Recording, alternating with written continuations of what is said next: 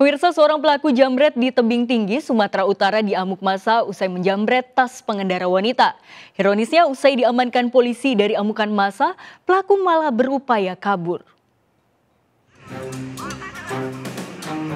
Aksi masa terhadap seorang pelaku jamret ini terjadi di Jalan Gatot Subroto, Padang Hulu Kota, Rabu sore. Pelaku yang diketahui bernama Sandi Arman Saragi alias Sandi ini hanya bisa pasrah saat puluhan warga memukulinya hingga babak belur.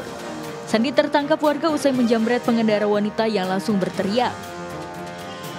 Aparat kepolisian yang tiba di lokasi sempat berusaha mengamankan pelaku dari amuk masa, namun pelaku malah berusaha melarikan diri hingga akhirnya polisi menghadiahi timah panas pada kakinya.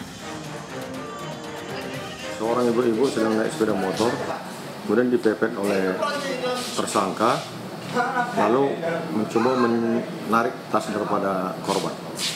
Memberikan satu tembakan ke kakinya. Sebelum itu dia sudah diperingatkan dua kali ke atas namun tersangka tersebut tetap melarikan diri. Untuk mempertanggungjawabkan perbuatannya, kini pelaku mendekam di balik jeruji besi Polres Tebing Tinggi usai mendapat perawatan di rumah sakit. Dari kota tebing tinggi, Abdullah Sai Hasibuan, iNews melaporkan.